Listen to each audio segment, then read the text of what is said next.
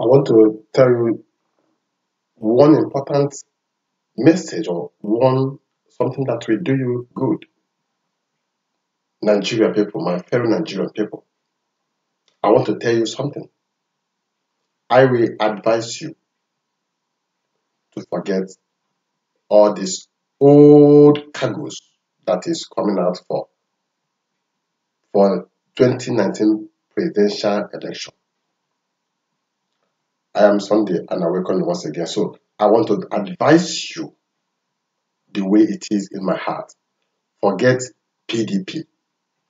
Nigeria people, I'm talking to all of you. From my heart, for the love I have for all of you.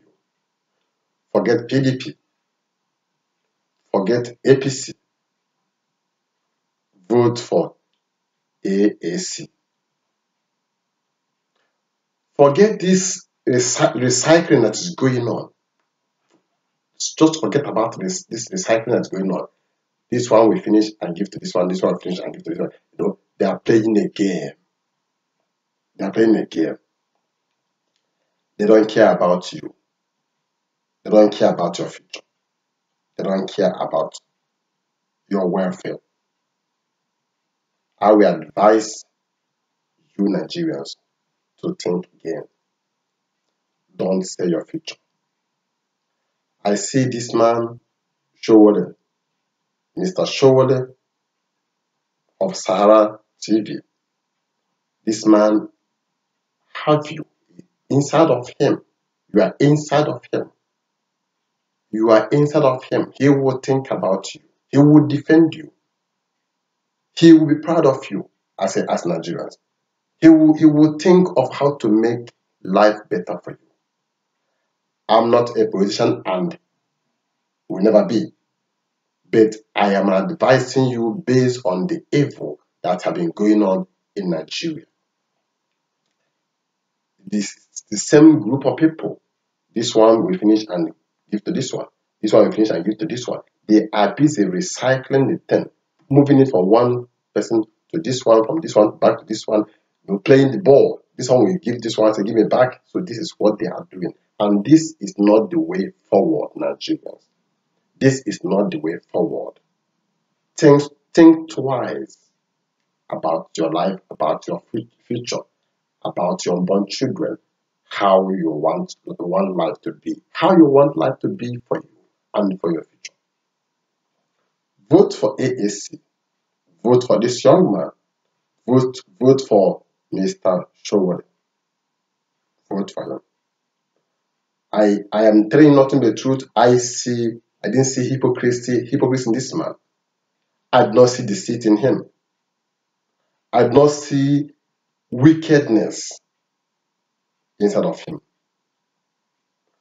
I appeal to you, Nigerians, to do yourself a favor. Do yourself a favor. Vote for the right person. Vote for the right man. Vote for a man with vision vote for a young vision. Young young person like you will think young things for you. Old cargoes will keep thinking old way, backward, wayward, backward. They can never think the way forward. They are only after their family, only they after their children, after their, their, their, their friends around them. They don't care about the nation the nation that they are ruling, they don't care about them.